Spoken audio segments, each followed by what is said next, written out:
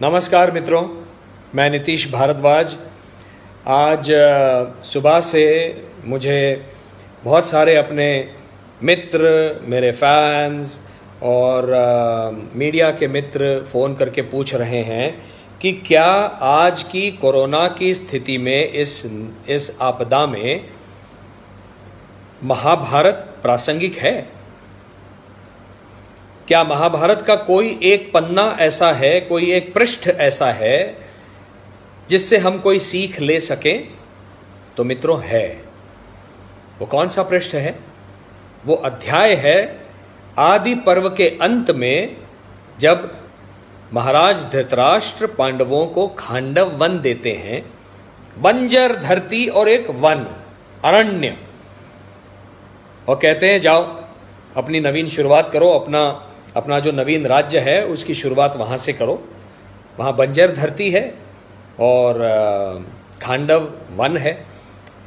Khandava one जो आज का मेरठ है, उसका नाम खांडव इसलिए था कि खांड मतलब मधु, स्वीट। उसमें महुआ के बहुत सारे पेड़ थे। और महुआ के पेड़ आप जानते हैं, जब उसके फूल आते हैं तो पूरा आसमंत जो है, वातावरण जो है, वो मधुर, मधुरता से भर जाता है। यह वन इक्षुमती नदी के किनारे पर था। वहाँ बहुत सारे प्राणी, पशु, पक्षी, सांप, कछुए, मछली, जलाशय सब कुछ था, और उसके राजा थे राजा तक्षक, नागराज तक्षक। तो जब ये दिया तो अर्जुन और कृष्ण वहाँ चले गए। और सोच रहे थे, अर्जुन पूछ रहे थे कि अब क्या करें, इसको कैसे करें? ये तो वन है, बंजर, धरती है। ये वन की भूमि भी अपने को चाहिए, लेकिन इसको कैसे करें? यहाँ पे कैसे हम इंद्रप्रस्थ बनाएँगे? तो अग्निदेव उनके पास आए और उन्होंने कहा कि मैं सात बार प्रयास कर चुका हूँ इस वन को जलाने का। और ये जो राजा तक्षक हैं, जो यहाँ रहते हैं नागराज इनके मित्र हैं, परम मित्र हैं इंद्रदेव। जब भी मैं अग्नि के रूप में इसको प्रज्वलित करना चाहता हूँ, इंद्रदेव वरुण की वर्षा कर देते हैं और उसको आग को बुझा देते हैं। तो आप मेरी मदद करें, ये मेरे लिए आवश्यक है करना। तो अर्जुन ने सोचा, मैं भी तो यही सोच रहा था कि ये जो वन है, ये जल जाए तो मुझे और भूमि मिल जाएगी जिस पर इंद्रप्रस्थ खड़ा होगा बड़े बड़े महल खड़े होंगे। तो उन्होंने वरुण देव की आराधना की। कृष्ण के कहने पर। वरुण देव प्रसन्न हो गए और वरुण देव ने कहा कि क्या चाहिए? उन्होंने कहा, मुझे एक ऐसा धनुष्य चाहिए जिस पर बाण लगाते ही जहाँ मेरा बाण जाना चाहिए, वहीं जाए। एक अलौकिक दिव्य धनुष्य चाहिए। फिर मुझे दो तरकश चाहिए, अक्षय तरकश, जिसके बाण कभी खत्म ही ना हो। और एक ऐसा रथ चाहिए जो मन के, मन की गति से भी तेज दौड़े। तो वरुण देव ने उनको गांडीव धनुष दिया, अक्षय तरकश दिए दो, और वो अलौकिक रथ दिया, जिसको बाद में आपने महाभारत के भारतीय युद्ध में देखा, जिसका सारथ्य किया स्वयं भगवान कृष्ण ने।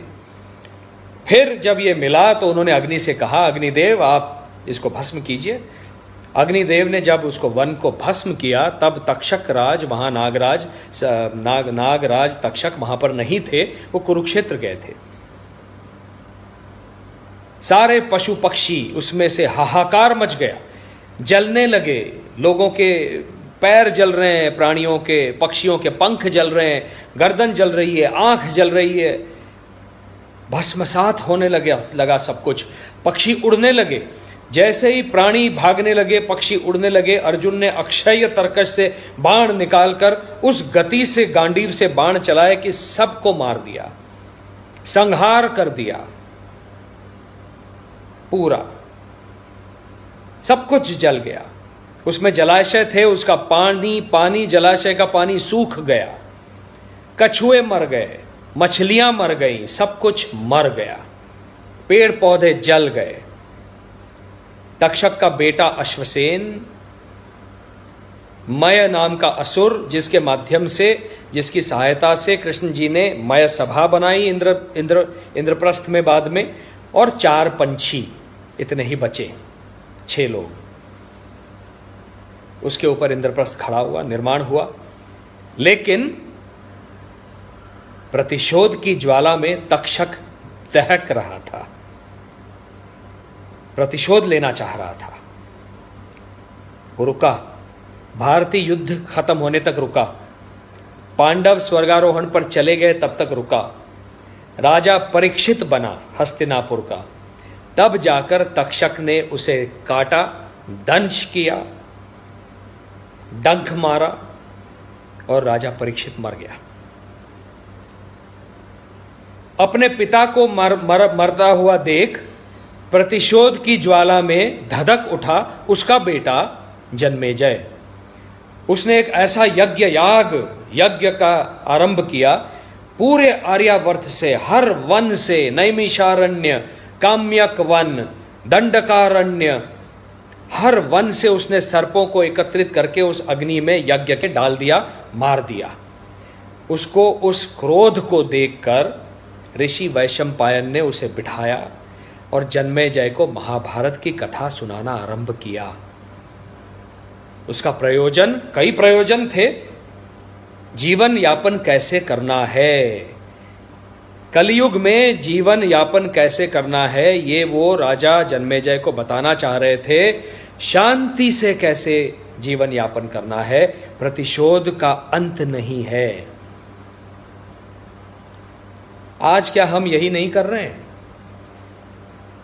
आज जहाँ पूरा भारत लॉकडाउन में है, सड़क पर कोई नहीं है, ना कोई वाहन है, ना मनुष्य है, इक्का दुक्का छोड़कर जो डंडे खा रहा है। आज देखिए, दिल्ली के बाहर, यूपी के रोड पर, हरियाणा की रोड पर नीलगाय दिख रही है। आज आपको सांबर दिख रहा है, बारासिंगा। आज आपको चीतल दिख रहे हैं। इसका अर्थ क्या है? हमने इनके वन नेस्तनाबूद करके अपने शहरों को बसाया है और अपने राष्ट्रीय महामार्गों को बनाया है। आज हम यही कर रहे हैं। पेड़ों को काट रहे हैं, अनाधुन काट रहे हैं। कोई पेड़ लगा नहीं रहा है। यह रुकना चाहिए। यदि यह नहीं रुका यह सीख है महाभारत की, इस अध्याय की, खांडव वन के अध्याय की यह प्रासंगिक है। आज के लिए। यदि ये नहीं रुका तो जिस दिन प्रकृति का कोप होगा, प्रकृति मात्र एक छोटी सी करवट लेगी, बस थोड़ी सी, इतनी सी, बस। वो रिक्टर स्केल होगा दस, और जिस तरह से डायनासोर्स का युग खत्म हो गया, समाप्त हो गया, ये मानव वंश समाप्त हो जाएगा, कुछ नहीं बचेगा। महाभारत के इस खांडव वन इस अध्याय का, इस कहानी की प्रासंगिकता यह है कि आज हम सीख लें प्रकृति के साथ संतुलन बना के रहना सीख ले, उसकी हारमोनी में जीना सीख ले। पशु, पक्षी, प्राणी, तितलियाँ, मधुमक्खियाँ हरेक जीव उसके जीवन का आदर सम्मान करना सीख ले को एग्जिस्टेंस सीख लें। लेट एंड लिव की भावना को सीख लें। हमको विकास चाहिए है। विकास किसको नहीं चाहिए? हमको प्रगतिशील बनना है, लेकिन उसके साथ में इन सब की भी रक्षा करनी है। यदि हमने ये नहीं किया, इन सब की रक्षा नहीं की, इनके साथ मिलजुल कर रहना नहीं सीखा तो प्रकृति सुनामी भेज देगी, भूकंप भेज देगी। और बहुत अगर क्रुद्ध हो गई प्रकृति तो बस रिक्टर स्केल पर दस की एक करवट। और यहाँ पर हम समाप्त। इसके लिए आज इस लॉकडाउन में ध्यान कीजिए मेडिटेशन कीजिए। अपने अंदर झाँक कर देखिए हम क्या कर सकते हैं, हम कहाँ गलत थे।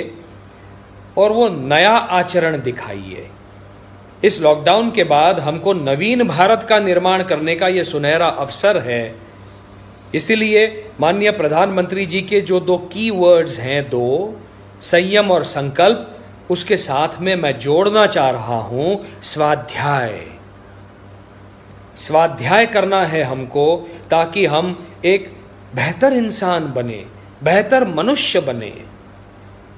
जो प्रेम करना जानता है, जो शांत रहना जानता है, यहाँ पर आज ये जो अपने अगल बगल में शांति है, कोई हॉर्न नहीं बजा रहा है, पै, पू पै, पू। ये जो शांति है, इस शांति से प्रेम करना सीखिए। इस शांति को अपने हृदय में, अपने मस्तिष्क में, अपने हृदय में लाना सीखिए, ताकि हम इसी शांति को लॉकडाउन के बाद अपने अगल बगल में, वातावरण में प्रसारित कर सकें। उससे ये मनुष्य वंश शांत होगा। इसी में मनुष्यता का भला है। स्वाध्याय करना है हमको ताकि हम एक बेहतर इंसान बने, बेहतर मनुष्य बने। जो प्रेम करना जानता है, जो शांत रहना जानता है, यहाँ पर आज ये जो अपने अगल बगल में शांति है, कोई हॉर्न नहीं बजा रहा है, पै, पू पै, पू। ये जो शांति है इस शांति से प्रेम करना सीखिए। इस शांति को अपने हृदय में, अपने मस्तिष्क में, अपने हृदय में लाना सीखिए, ताकि हम इसी शांति को लॉकडाउन के बाद अपने अगल बगल में, वातावरण में प्रसारित कर सकें। उससे ये मनुष्य वंश शांत होगा। इसी में मनुष्यता का भला है। इतना मैंने समझा है। ये मैं करना चाहता हूँ। और आप सबसे अपील करता हूँ, निवेदन करता हूँ, करबद्ध निवेदन करता हूँ कि यह कीजिए। संयम, संकल्प और स्वाध्याय। नमस्कार।